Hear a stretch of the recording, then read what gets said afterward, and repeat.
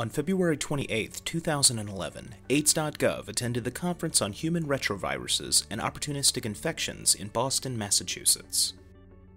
Dr. Ronald Valdiserri, the Deputy Assistant Secretary for Health for Infectious Diseases at HHS, spoke with Dr. Jonathan Mermin from the CDC about his presentation, The Science and Practice of HIV Prevention in the U.S. Can you share with the AIDS.gov audience some of the major messages that you included in your presentation this morning? Well, thank you, Ron. I'd be pleased to. Um, there are really three major points. Uh, the first is that we have a growing epidemic of HIV in the United States, and it disproportionately affects already disenfranchised groups. The second is that there's a plethora of both already known and new, potentially effective interventions to help prevent HIV infection in the United States. And the third is that we're at the cutting edge of being able to take all these different options and put them together in a way that's going to be most effective at affecting the epidemic. And we need to continually think about how we can take the science and our programs to the next level of effectiveness. That last point that you brought up, as you know, is a very important element of the National HIV AIDS strategy. Could you talk a little more about some of the complexities around trying to answer that question of combination HIV prevention? The national strategy says that within five years we should have a 25% reduction in the number of new HIV infections in the United States. And that's hard.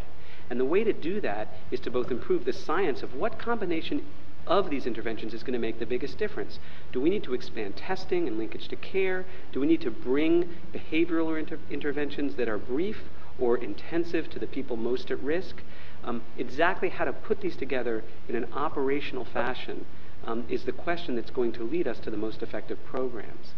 And sometimes I find that when people try to model this, they are not able to put together some of the most important factors that are often prosaic. For example, the cost of the intervention. Are there human resources to be able to implement them? Scalability. Can you actually bring it to the entire population that needs to receive that intervention? Coverage. If you do bring it, are you going to be able to have an effect on the epidemic, or is it only among 1 or 2% of the population that's most affected by HIV? All of these things need to be brought together. We're asked to do that already from the national strategy. Now we just need to bring science into the question. All of us recognize that uh, there's a lot of competition for resources. Having said that, I wonder if you can share with the AIDS.gov audience some of the thoughts and ideas that CDC has about doing a better job of targeting resources geographically? There are several ways that we can do that. I mean, one is to make sure that there's good surveillance information to guide us on where the epidemic is actually occurring.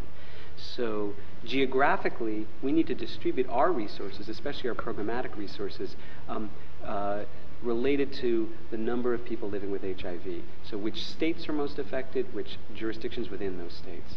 And we need to work with state and local health departments to be able to make sure that their, uh, inter- their, their interventions are in the place that the epidemic is occurring.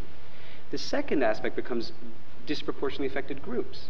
So, in the United States, the HIV epidemic is actually growing among men who have sex with men. Um, we need to make sure that we can tackle that epidemic as much as possible. But also, African Americans are eight times more likely to have HIV, Latinos are three times more likely to have HIV, and IDUs are also much more likely to have HIV than others. And we need to be able to um, focus our interventions to be able to affect the most affected groups. The other way we can do it, other than surveillance, is to make sure and is to make sure that um, when we actually are putting the resources into these places, that the interventions that we're trying to apply are those that are going to make the biggest difference in that population and it's not the same for everyone. Yeah, good, good point. I want to thank my friend and colleague, Dr. Jonathan Mermin, for doing a, a great job in summarizing his plenary presentation. This is Ron Valdiserri for AIDS.gov from Boston. Uh, and thank you all very much, and keep reading AIDS.gov.